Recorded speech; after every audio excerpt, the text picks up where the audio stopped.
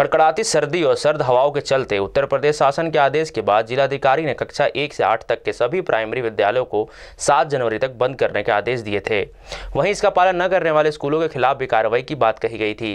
लेकिन मैनपुरी में blooming bird school सरकार और जिलाधिकारी के आदेशों के धजिया उड़ाता नज़र आ रहा है। स्कूल बंद करने के आदेश के बाद भी स्कूल को खोलकर नन्हे मुन्ने बच्चों की परीक्षा कराता नज़र आ रहा है ये स्कूल। अभिभावकों की शिकायत पर जब मीडिया स्कूल पहुँची तो बच्चे स्कूल में नज़र आए और स्कूल प्रबंधक से जब एक वावत सवाल पूछा गया तो आज ही स्कूल खोलने की बात कहते वो नज़र आ रहे हैं।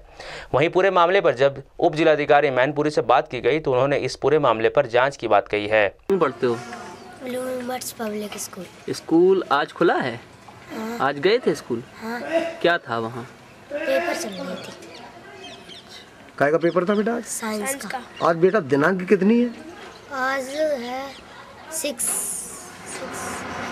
उत्तर प्रदेश के मैनपुरी से दीपक शर्मा की रिपोर्ट।